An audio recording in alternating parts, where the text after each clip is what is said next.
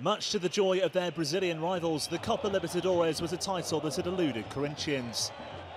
Eight other Brazilian sides have been crowned champions, but in front of their own fans, they had the chance to change that.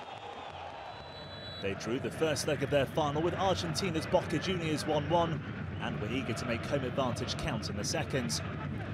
After a scrappy first half with no clear chances, it was Corinthians who broke the deadlock nine minutes into the second period.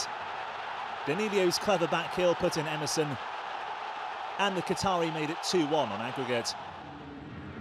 With 18 minutes left, the Brazilians wrapped up the title.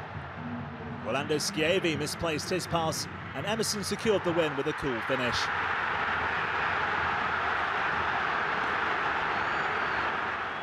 Corinthians complete the competition undefeated, and one of Brazil's biggest clubs finally end their barren run in South American club football.